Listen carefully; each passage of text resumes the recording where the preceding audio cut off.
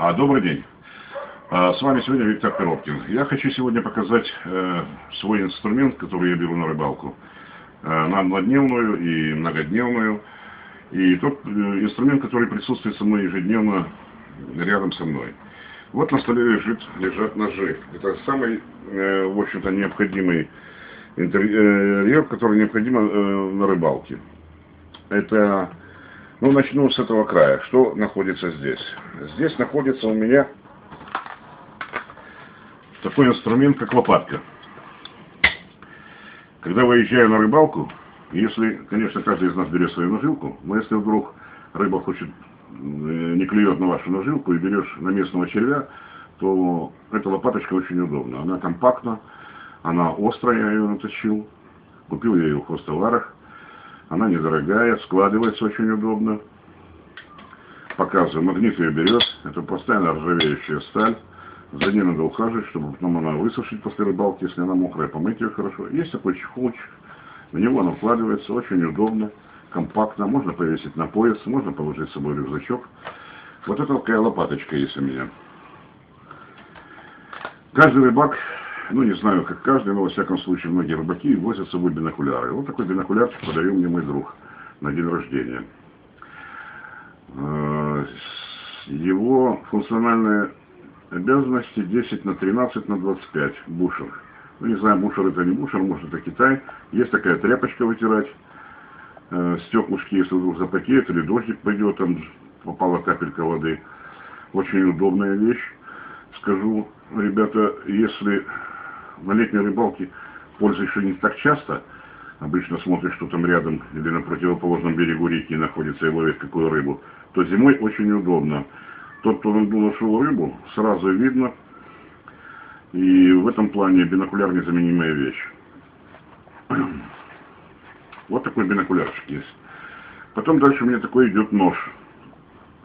Но нож, скажу честно, это э, китайская подделка – Э, Апенера, деревянная ручка. Вот. Э, чем удобен такой нож и куда его беру? Я такой нож беру на море, когда ловлю морскую рыбу. Когда, если вдруг он падает с лодки в воду, то он, соответственно, не тонет за счет колодочки. Очень удобный, острый, э, ржавеющая сталь тоже, 7,8, наверное. Вот этот ножичек я беру на море. Вот эти вот три ножа у меня есть. Первый, второй и третий. Покажу всех по очереди. Вот этот нож для разделки рыбы. Если выезжаем на 3-4 дня мы на природу, куда-то называется бальцер, э, немецкий вроде нож. Э, манитик берет, это ржавеющая сталь. Очень удобный ножичек для разделки рыбы, филейный. Э, нож э, я так особо не затачиваю их, чтобы бриться, но, как говорится, острый, рабочий. Толщина металла его я могу сказать, он тонкий нож, 1 миллиметр, то есть практически очень тоненький, удобный разделывать рыбку, филешку. Также помимо этого ножа под филе рыбы, разделки рыбы, у меня есть еще такой бальцер, но он двухсистемный. То есть есть отдельная рукоятка, и отдельно есть два лезвия. Одно длинное для большой рыбы, это карп, или, допустим, там большой судак, или толстолоб, а одно маленькое. В эту рукояточку очень удобно менять лезвие. Вот оно ставится вот таким макаром. Вот здесь квадратик есть такой. Попадаешь на него. И фиксатором фиксируешь, закрываешь. Тоже очень хороший филейный ножичек для разделки рыбы. Вот. Так же само, если вдруг рыба является побольше, чем карась, допустим, а, может быть короб или толстолоб или судак большой, есть такой второе лезвие, которое идет с пилочкой непосредственно, что можно было ребра, косточки там спилить. Вот, нож длинный, гораздо длиннее, чем тот тоже острый, удобный.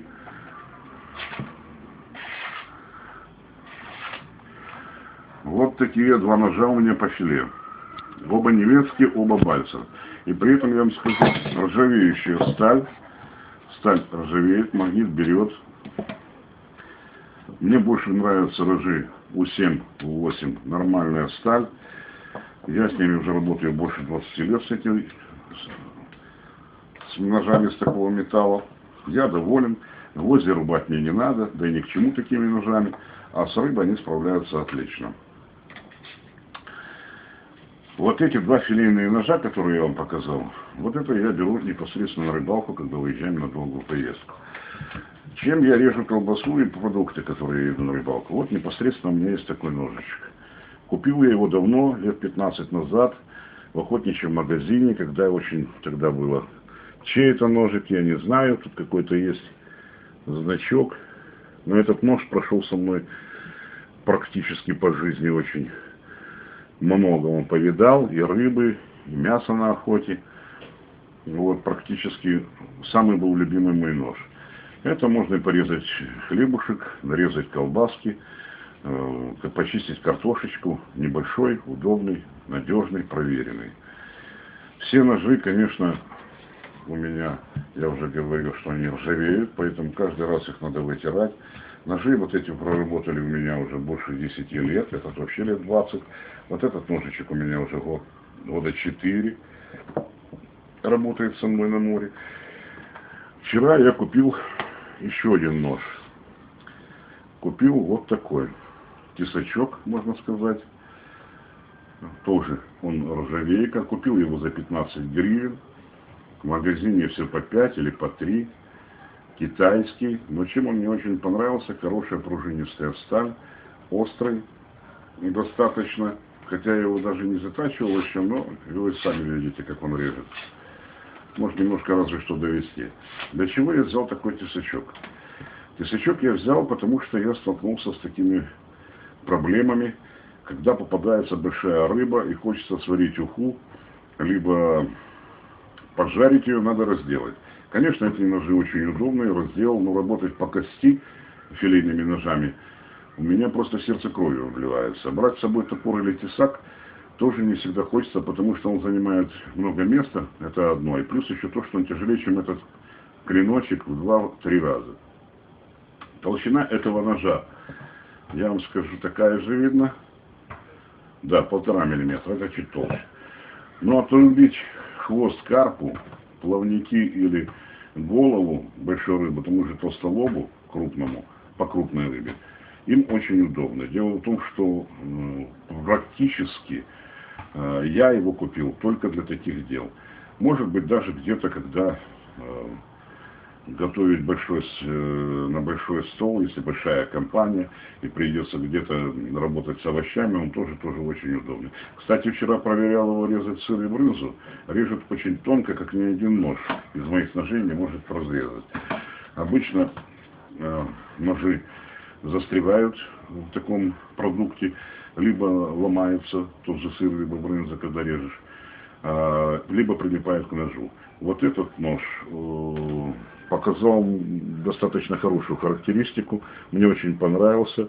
И в данной ситуации, вот еще бумажечка, которая шла, я буду брать его на охоту, на рыбалку, для того, чтобы можно было использовать его по назначению. То, что я вам говорил. Вот что, вот этот ножичек, это ножик Victorinox. Вот, всем известная фирма. Этот нож на протяжении уже тоже лет 20 он со мной. Он э, присутствует у меня в каждодневном моих э, выходе э, в город. То есть, неважно, куда я иду, на базар или, или иду я в город э, по каким-то своим делам, он у меня висит всегда на поясе. Этот нож не раз меня выручал, таких, э, сказать, в деликатных вопросах. Могу привести один из примеров даже, когда я с семьей выехал отдыхать на море на машине, и мы поставили все автомобили, желающие э, пойти покупаться, на стоянку, на закрытую стоянку. Ну, сторож был человек, видно, любитель выпить, закрыл это все шлагбаум на замок и ушел где-то себе отдыхать. После того, как мы покупались, мы пришли на, за машинами, все выстроилась очередь. И забрать не можем свои, свой транспорт только по одной причине, что висит замок амбарный на цепи. и машину взять и выехать невозможно. И вот тогда выручила меня вот эта вот пилочка. Нас было человек 30 с детьми, с женами. Я перепилил вот этой пилочкой Викторинокс. Не поверите, поверите, не знаю насколько. Но я говорю правду. Вот этой пилочкой Викторинокс я перепилил э, замок китайского образца. Вот, и мы взяли свои машины и все уехали. Поэтому вот это один из таких случаев. Очень много раз выручала меня шило с отверстием, которое непосредственно происходили такие казусы, что необходима была иголка с ниткой. Нитка была, находили, а иголку нет. Вот она вместо иголки очень выручала. Вот эта вещь на рыбалке меня выручает, когда затягиваешь э, леску на крючках, петли делаешь. То есть непосредственно взял, петлю накинул с лески и затянул. Ножичек удобный, комфортный и достаточно я очень им доволен. Какой еще из инструментов я беру на рыбалку? Конечно, беру мультилык вот такой. Простой, никакой не навороченный. Это мне тоже подарили друзья на рыбалку. Факт тот, что здесь присутствуют э, плоскогубцы, потому что силы этого арсенала у меня его нет очень компактно. И непосредственно головочки всякие, которые можно, если вдруг у тебя происходит такая ситуация, как у меня произошла, отвинтилась на катушке винтики, то всегда можно взять отверточку, либо головочку, закрутить. Вот такой идет в наборе с ним. Ну, вы, наверное, уже знаете, такие не первый год продают в магазинах. Но я вам скажу честно, очень практично. Если вдруг разогнулся крючок, а это надо либо демонтировать снасть, отрезать и вешать другой крючок, либо взять просто плоскогубцы и непосредственно согнуть его обратно. Э, в этом отношении плоскогубцы просто незаменимая вещь. Катушки все вы знаете, что тоже наши непосредственно винтики, гаечки, болтики. И если мы не имеем такого комплекта на рыбалке, то рыбалка превращается в расстроенные чувства и, соответственно, потом не получаешь такого удовольствия. Поэтому такая мелочь, как вот такой ножичек, если вдруг он у тебя находится рядом, если даже, у меня даже был такой один раз вариант, когда я поехал испробовать свои снасти и воблеры, и щука заглотила глубоко. Так я вот, честно вам скажу, я плоскогубцами вытаскивал, потому что я не взял с собой эм, других инструментов для того, чтобы это дело сделать.